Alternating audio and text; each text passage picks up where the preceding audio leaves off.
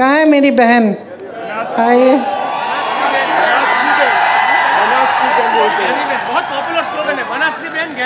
बनास की बहन?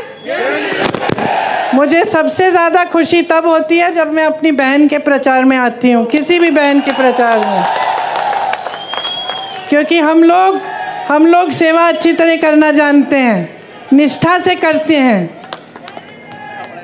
तो आप हाँ? लोग मुझे फंडिंग भी दे रहे हैं वोट भी दे रहे हैं। देखिए कह रही हैं कि आप ही के समर्थन से चुनाव लड़ रही हैं और ये कह रही हैं कि ये चुनाव जनता लड़ेगी।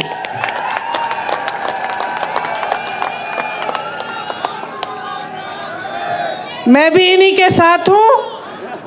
आप इनको भारी से भारी बहुमत से जिताइए ताकि आपकी सेवा पूरी हो और आपकी सेवा अच्छी तरह हो। आपको बहुत बहुत धन्यवाद। बहुत धूप है, आपने बहुत ध्यान से, चुपचाप से मेरी बातें सुनी। आशा है, जैसे मैं कह रही थी कि जिस दिन आप पोलिंग पे जाएँगे, दो मिनट लेकर मेरी बातों को याद करो। कि मैंने सही कहा कि नहीं? कि मैं आपकी भलाई की बात कर रही हूँ कि नहीं? और अब मेरी बातों के आधार पर और अपने अनुभव के आधार पर अपना वोट दो। मेरी बहन को खूब भारी बहुमत से जिताओ। अभी मुझे माँ अम्बा जी का एक चित्र दिया गया, इसलिए शायद उचित रहेगा एक बार सभा शुरू करने से पहले मेरे साथ माँ अम्बा जी की ज़ोर से एक बार जय कहिए। माँ अम्बा जी की माँ नडेश्वरी जी की और गेड़ा हनुमान जी की जय। देखिए, ये गुजरात की धरती है। यहाँ से इस दुनिया के सबसे शायद इस पूरी हमारी जो पीढ़ी है और इससे पहले की पीढ़ियाँ, उसमें शायद दुनिया की सबसे महान हस्ती आपने गुजरात ने इस दुनिया को दी। महात्मा गांधी जी यहाँ पे जन्मे।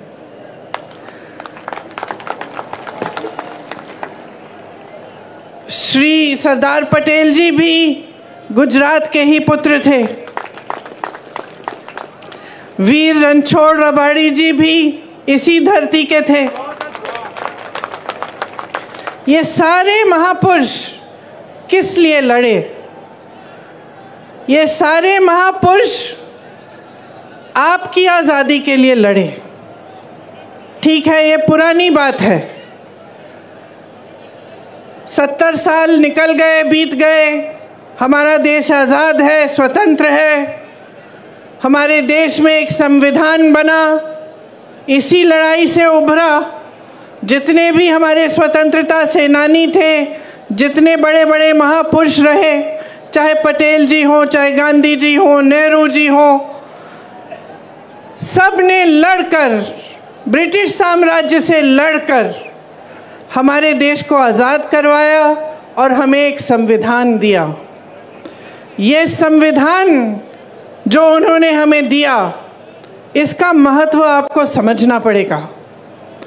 आज बहुत ही ज़रूरी है कि आप कुछ मूल बातें, जो गहरी बातें हैं हमारे देश की राजनीति के बारे में और अपने जीवन के बारे में, आप ठीक ढंग से समझें। ताकि जो निर्णय आप लेने जा रहे हैं चुनाव में, वो आप सोच समझ के और सारी जानकारी लेके लें। जब हम संविधान की बात करते हैं, खास इसलिए हम आज ये बात उठा रहे हैं, क्योंकि भाजपा के कई नेताओं ने, जो चुनाव लड़ रहे हैं, कुछ मंत्रियों ने, देश भर में जो घूम रहे हैं, उन्होंने कहा कि अगर भाजपा फिर से जीतेगी तो संविधान बदला जाएगा।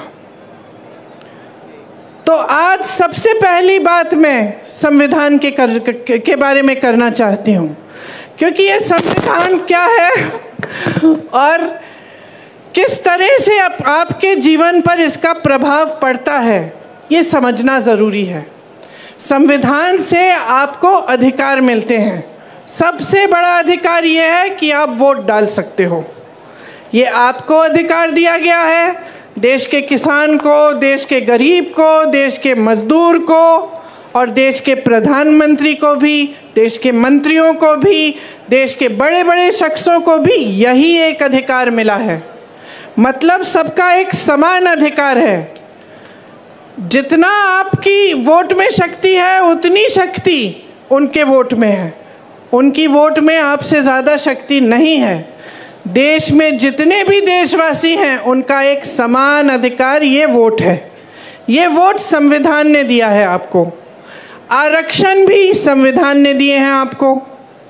तो जो आरक्षण का अधिकार है कि किसी समुदाय को या किसी जाति को, अगर लगता है कि ठीक ढंग से मौके नहीं मिल रहे हैं, काफ़ी सालों से उनके साथ अत्याचार हुआ है या शोषण हुआ है तो संविधान कहता है कि आपको कुछ अधिकार मिलने चाहिए और आपको आरक्षण मिलना चाहिए। मतलब रोज़गार मिलता है तो आपके लिए कुछ रोज़गार आरक्षित हो। ये भी संविधान आपको देता है। तो ये दो बहुत बड़ी चीज़ें हैं जो आपको संविधान द्वारा मिलती हैं।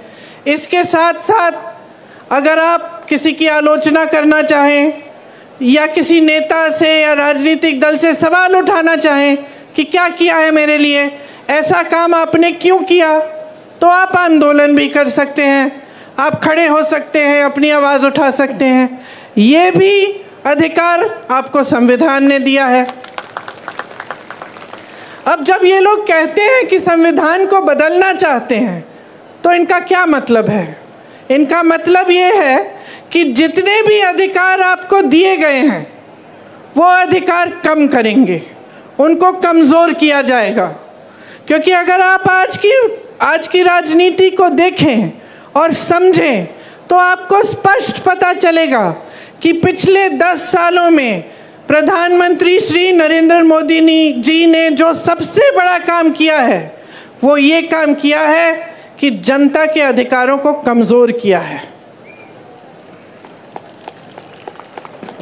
एक ज़माने में मैं हमेशा ये कहानी बताती हूँ, एक ज़माने में बड़े बड़े प्रधानमंत्री होते थे, वो आपके गाँव आते थे, वो आपके घरों में आते थे। और जब आपके घरों और आपके गाँव में आते थे तो आप अपना हक मांगते थे। मैंने खुद अपने पिताजी, अपनी दादी जी के साथ देखा है। मैं यूपी के किसी छोटे से गाँव में गई, एकदम पिछड़े ज़िले में, जहाँ पे मेरा पहुँचना आज के दिन मुश्किल था। क्योंकि बहुत लंबा सफ़र था गाड़ी से रास्ते में हेलीकॉप्टर लिया, फिर गाड़ी ली, फिर पहुँची। और जब मैं एक गाँव में गई तो एक छोटी सी बुढ़िया ने मुझे बताया। छोटी इसलिए क्योंकि इतनी बुढ़िया थी कि वो ऐसी झुकी हुई थी। उन्होंने मुझे बताया कि जब आपकी दादी जी आई थी तो जो खीर मैं आपको खिला रही हूँ, ऐसी ही खीर बना के मैंने उनको खिलाया। मैं अपने पिताजी के साथ गाँव जाती थी, उनके पीछे पीछे तो अपने ही संसदीय क्षेत्र में जब वो किसी के घर में चले जाते तो अगर कोई सुविधा नहीं मिली होती, या पानी नहीं आ रहा है, या उस ज़माने में वो मा इंडिया मार्क वन लगता था, वो नल नहीं लगा है, या सड़क नहीं बनी है तो डांट खाते थे। जनता डांटती थी कि आप प्रधानमंत्री हैं। हमारा नल नहीं लगाया आपने। और लोग कहते थे उनसे कि देखिए, वोट हम आपको तब देंगे जब आप सड़क बनाएँगे, जब आप पानी लाएँगे। प्यार तो हम आपको बहुत करते हैं। आओ, खाओ, चाय पियो, लेकिन वोट तब मिलेगा जब आप हमारा काम करेंगे। ये राजनीति थी एक ज़माने की। और इस राजनीति का आधार किसने डाला? गुजरात के सबसे महान बेटे ने डाला। महात्मा गांधी जी ने, महात्मा गांधी जी ने सारे नेताओं से अपनी संपत्ति छुड़वाई, सबको ज़मीन पे लाए, सबको घरों में ले गए। गरीबों के, की समस्याओं को सुनो। और जो जनता है देश की, वो सर्वोपरि है। ये बात गांधी जी ने सिखाई। और गांधी जी ने कहाँ से सीखी ये बात? खुद। भगवत गीता से, हिंदू धर्म से। जो महान गुरु होते थे हमारे, उनसे पहले, वो सारे आपके बीच आते थे, पैदल चलते थे। सुनते थे कि समस्याएँ क्या हैं, कि मेरी बहनें बैठी हैं, कैसे चला रही हो अपना जीवन?